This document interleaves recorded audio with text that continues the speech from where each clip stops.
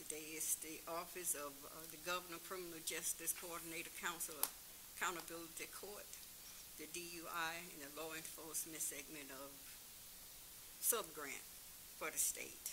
Yesterday, Ms. Harris talked to us about that, and there was no questions or concerns. Do you, Ms. Casey, you want to brief them about that? Um, yes, yes, ma'am. Thank you. Um, Commissioners, if you remember, um, for those of you who were not here yesterday, um, this is a subgrant for nine thousand one hundred and ninety-five dollars.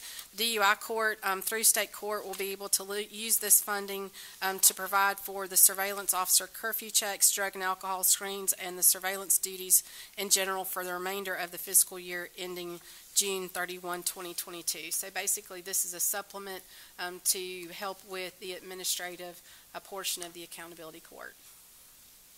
Any question, any concern? No, ma'am. Need a motion? I move we approve the sub-grants.